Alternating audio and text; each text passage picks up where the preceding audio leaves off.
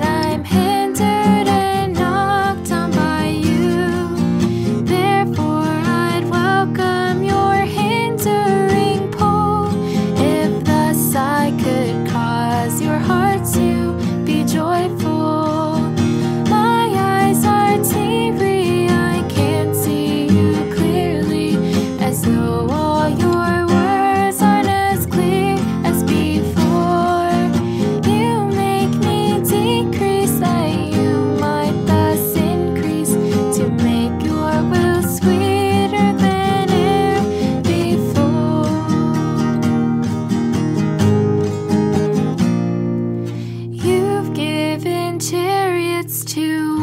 others instead.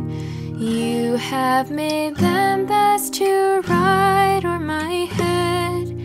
You stretch your hand out, my all now to take.